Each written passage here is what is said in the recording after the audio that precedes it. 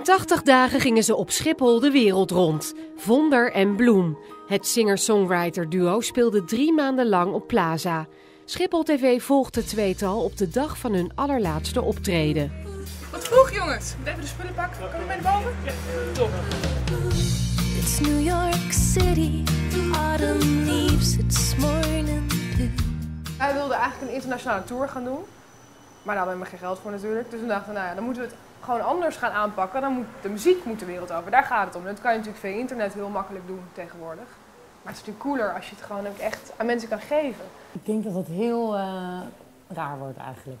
Maar ja, drie maanden, het is echt heel lang. Het is gewoon een kwart jaar dat we gewoon op Schiphol hebben ge- ja, geleefd. Na 80 dagen is dat gewoon wie je bent of zo. Dus als wij morgen niet meer hoeven, denk ik dat ik gewoon instort. Moet het nog klein gaan, maar niet? of niet? Eh, ik It's breakfast in bed, it's the day we met, and it's our song.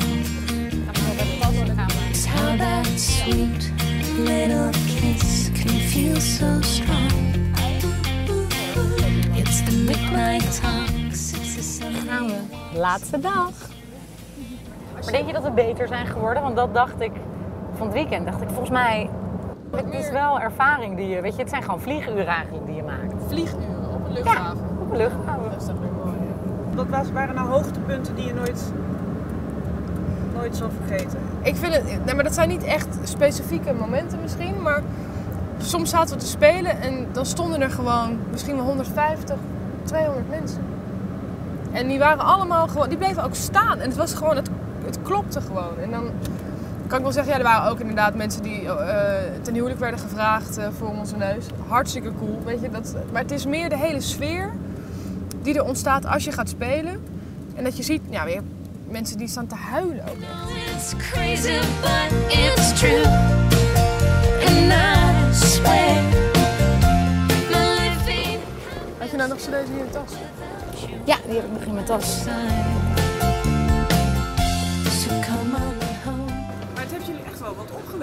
We mogen naar Hongkong om op te treden. En we mogen in China optreden. Een producer uit Nashville die wil praten over eventuele samenwerking.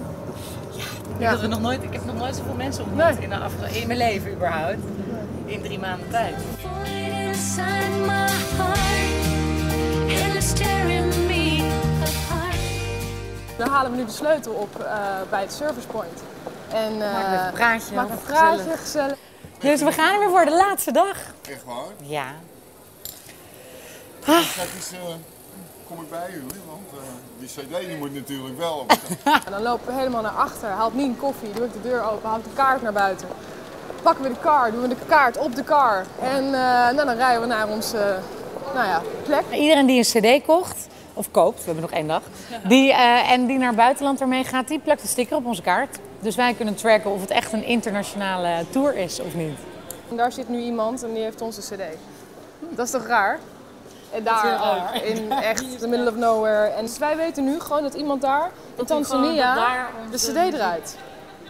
Dat is toch bizar? Sorry, ik leen even de karretjes. Ja, dan ga je ons helpen. Ah, dit is de laatste dag, dus we gaan... Ja, ja. Gaan jullie weg nou? Dan gaan we weg.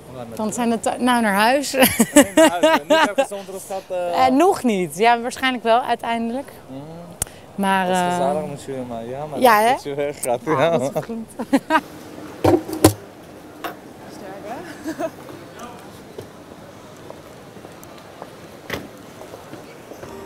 Check, one, two, check.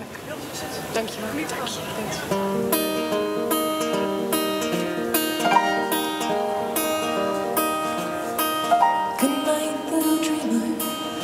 is gonna